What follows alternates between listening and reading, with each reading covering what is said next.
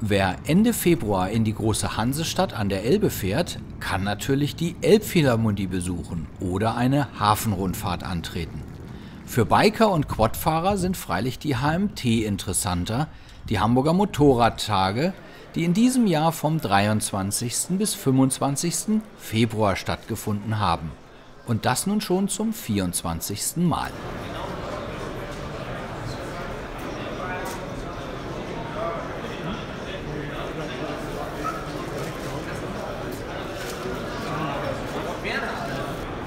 Wie bereits von den Vorveranstaltungen in den vergangenen Jahren gewohnt, gab es einen bunten Mix aus Bikes, Zubehör, Bekleidung und Action zu sehen, wobei auch die ATVs, Quads, Side-by-Sides und Dreiräder nicht fehlten.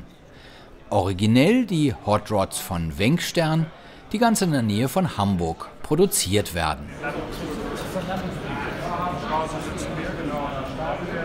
Messepreis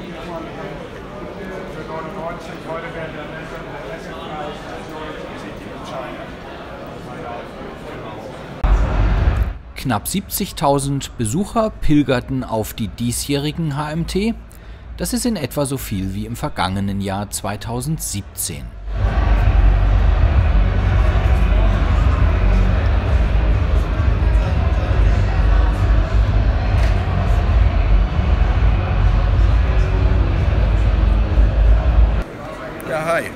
Albi von der Firma Wenkstern. Ab 2019 wird voraussichtlich ein Mini-Hot der Firma Wenkstern als E-Format rauskommen. Und äh, dann geht's lustig weiter. Canem präsentierte seine Spider Dreiräder und Outlander ATVs. Auch ein aktuelles Side-by-Side -Side aus der Maverick Baureihe fehlte nicht. Nützlichkeit stand bei Yamaha im Vordergrund. Der Hersteller zeigte eine brandneue Kodiak 450 mit Utility-Zubehör von Logic und einer Pumpe von Yamaha.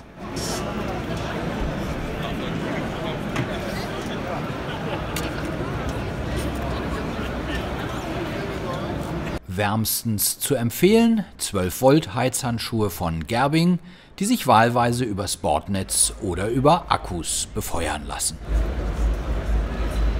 Großzügig präsentierte sich Polaris. Auch hier stand der Nutzwert im Vordergrund. Nettes Detail am Rande, eine Aufnahme für eine Frontrangierkupplung, die am Limited-Modell der 570er 6x6 serienmäßig ist. Den dreirädrigen Spaßmacher des nordamerikanischen Herstellers hatte das Team von Powersport Hamburg freilich auch mit dabei.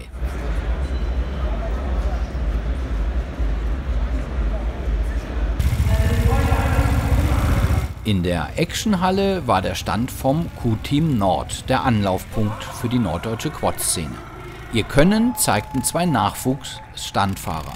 Die Stuntlady Mel 217, die vom Stunt-Doktor Stefan Blank höchstpersönlich trainiert wird, und Marc Hüttmann, der auf einer Yamaha unterwegs ist. Im kommenden Jahr 2019 finden die HMT zum 25. Mal statt. Wir sind bereits gespannt, was sich das Team vom Veranstalter Dicon zur Jubiläumsmesse alles einfallen lassen wird.